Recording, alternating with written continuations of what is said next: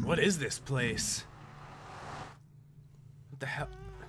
What the hell are those? Did she really go in here? Where am I? It's so hot here. There's a huge building over there. I wonder if that's where she went.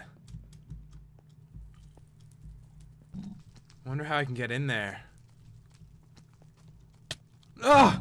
Oh my god! Oh god! I should have listened to her. Ah! Uh, where am I? I found you passed out on the other side of the portal.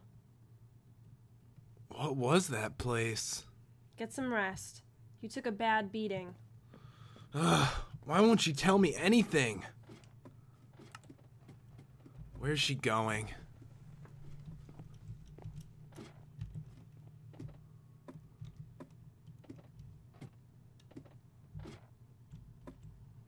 I don't think she can hear me. How could he survive that? He couldn't really be. No, can't be. But something is different about him. I need to test him. I can't tell him what I know. What was she talking about? Uh, I better get some rest.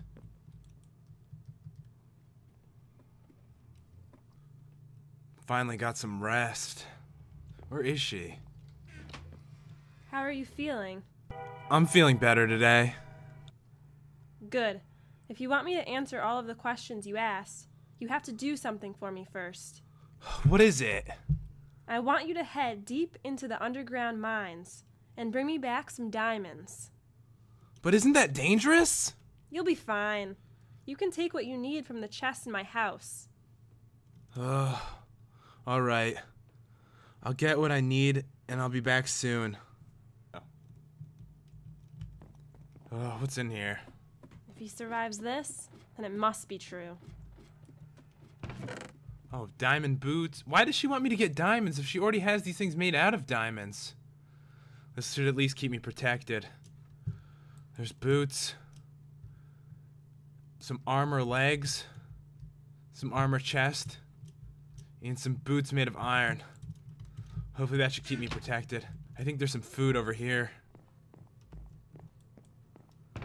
Oh, I can take these apples with me. Both of these, that should last the whole time. And this steak. And some bread.